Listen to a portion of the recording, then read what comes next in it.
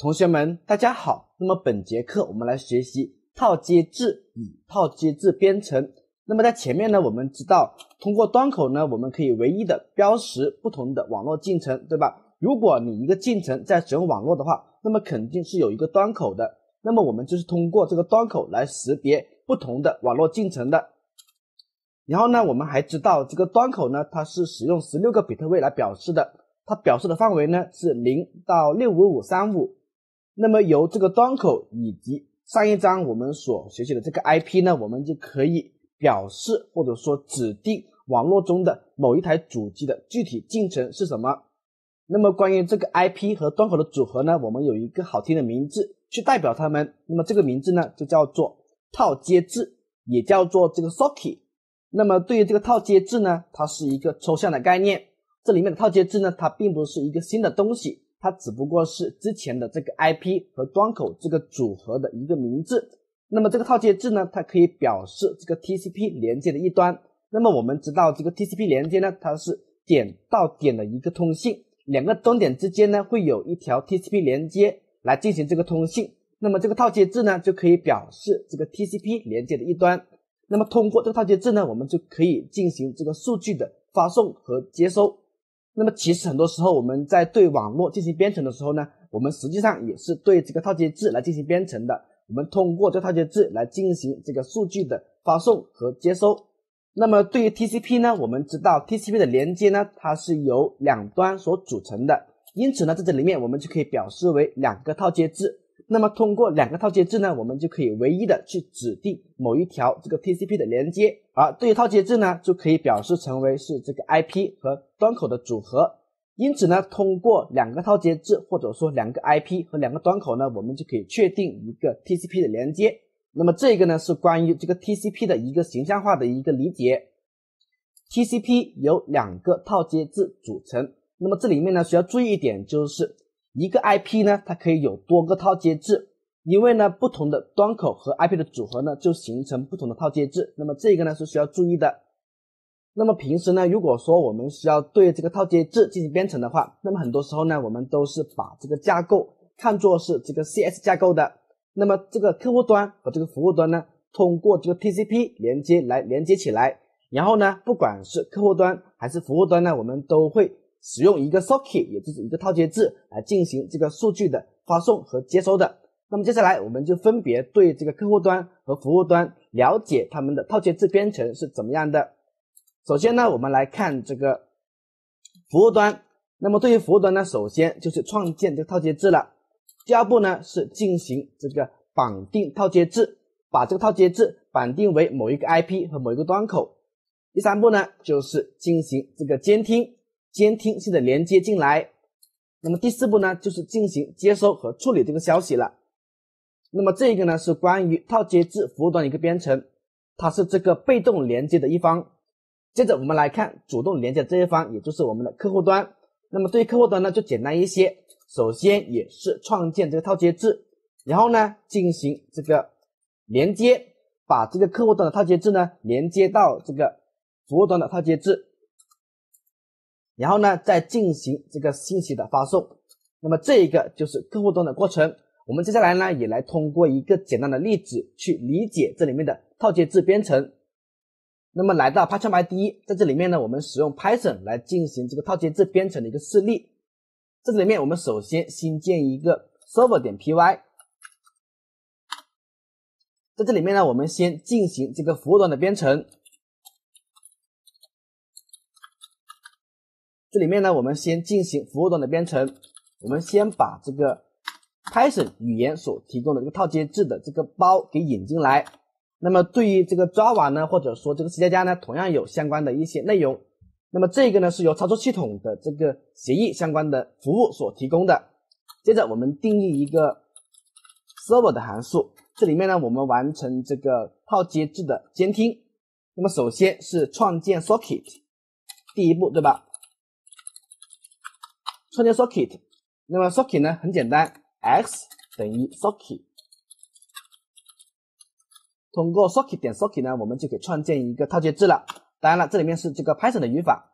接着呢，我们把这个主机设置为幺二七点零点零点一，那么这个呢是属于这个回环地址，我们前面也介绍过。然后呢是这个端口，那么这里面呢我们设置为六六六六。接着呢我们就进行了第二步，对吧？绑定套接字，对吧？绑定的也非常简单，我们使用这个套接字自带的并方法。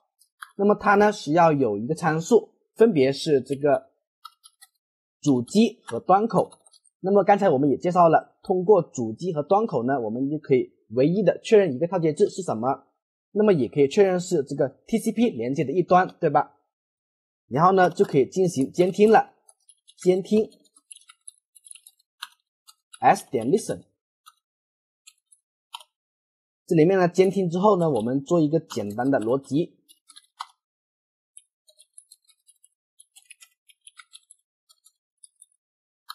我们先接受这个来自客户端的请求，然后呢，我们打印一行消息，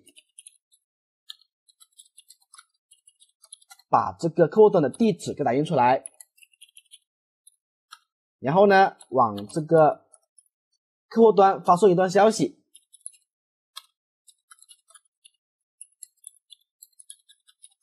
，Welcome to my course，然后再把这个连接给关闭掉。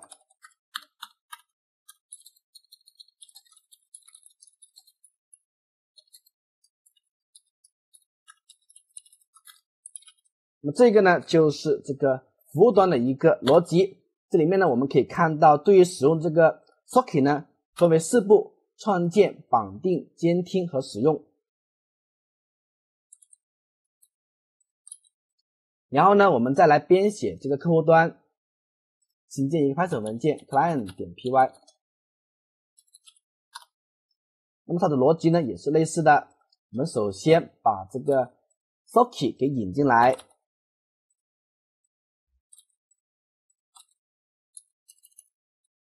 对吧？然后呢，在这里面呢，我们定义一个 client 函数。在这个函数里面呢，我们也是首先创建一个套接字，对吧？同样的逻辑是一样的，我们把这里面的代码复制过来，然后呢，我们就把这个套接字连接起来，连接到这个服务端，连接套接字 s 点 listen。那么这里面呢需要传递一个地址，首先这个主机呢是幺二七点零点零点一，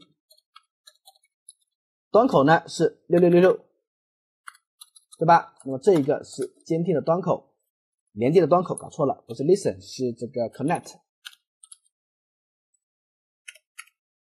然后呢我们就打一行信息，说这个 receive message。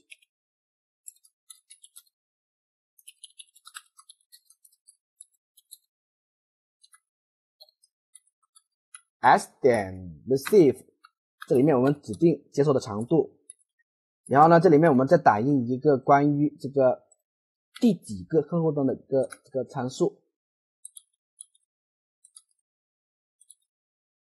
然后呢，这里面我们再打印一个参数，表示说这是第几个这个客户端，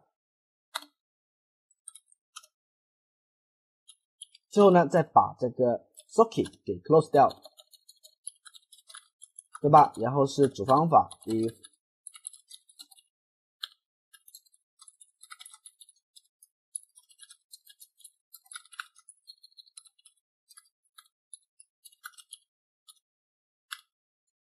好的，那么这个呢，就是关于这个客户端的一个编写。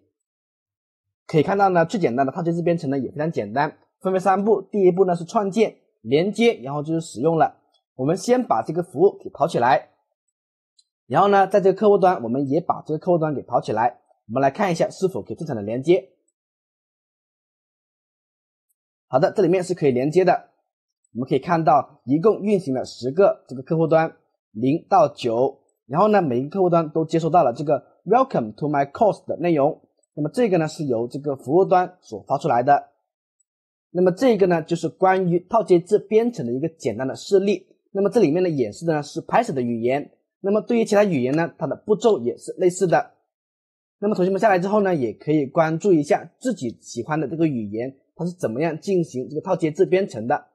那么在这里面呢，我们了解了这个网络套接字，不知道在这里面呢，同学们有没有感觉到相关的内容是似曾相识的呢？没错，在前面我们在学习这个操作系统的时候，我们学习了这个预套接字。那么预套接字呢，它的操作过程或者说流程呢，和这里面的网络套接字是非常类似的。